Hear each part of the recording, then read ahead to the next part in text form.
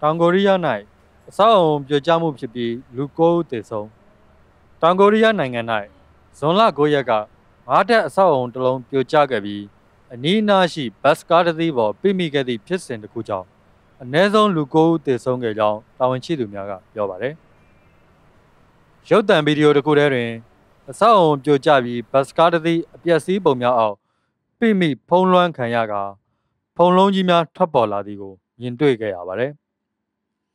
ဆိုးလ်မြို့အနောက်တောင်ဘက်ဂွမ်ဂျူးမြို့ရှိရင်းငါးတဲ့အဆောက်အုံကိုပြိုချရေးလုပ်ငန်းများလှုပ်ဆောင်နေခဲ့စဉ်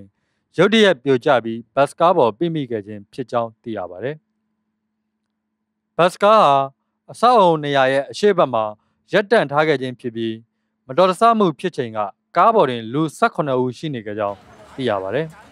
။အဆောက်အုံပြိုကျမှုကြောင့်ဘတ်စကားပေါ်ပါခရီးသည်များအနက်9ဦးသေဆုံးပြီး ကြံခရီးသည်10ဦးဟာလည်း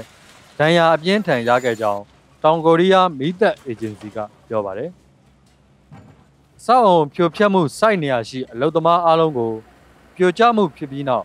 ဘေးကင်းရန်ပြောင်းရွှေ့ပေးနိုင်ခဲ့ကြောင်း၎င်းတို့ကပြောပါတယ်။မတော်တဆမှုဖြစ်ပွားရခြင်း၏အကြောင်းရင်းကိုရှင်းရှင်းလင်းလင်းမသိရသေးပါ